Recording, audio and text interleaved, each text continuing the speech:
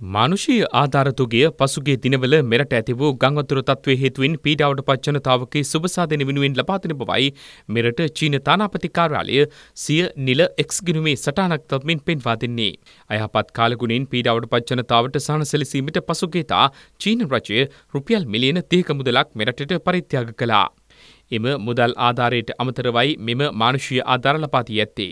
ශ්‍රී ලංකාවට ඇවැසි සෑම විටම මිතුරෙකු ලෙස චීන රජය සහාය ලබා දෙන බවද එම එක්ස් පණිවිඩයෙහි වැඩිදුරටත් සඳහන් වෙනවා. මේ අතර ශ්‍රී ලංකාවේ ඉතාලි තානාපති ඩෙමිනියානෝ ෆැන්කොවික් මහතා අග්‍රාමාත්‍ය ආචාර්ය හරිනි අමරසූරිය හමු වුණා.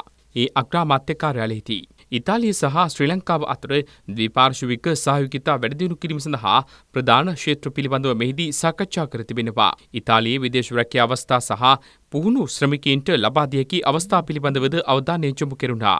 මේ අතර ජාත්‍යන්තර කම්කරු සංවිධානයේ මෙරට අධ්‍යක්ෂ ජොනි සිම්සන් මහත්මිය අග්‍රාමාත්‍යාචාර්ය හරණි අමරසූරිය අග්‍රාමාත්‍ය කාර්යාලයේදී හමු වුණා. මෙහිදී කම්කරු ප්‍රමිතින් කාන්තා සයිබල ගැන්වීම් සහ සමාජ සංවාද වැඩදියුණු කිරීම කෙරෙහි අවධානය යොමු වී තිබෙනවා.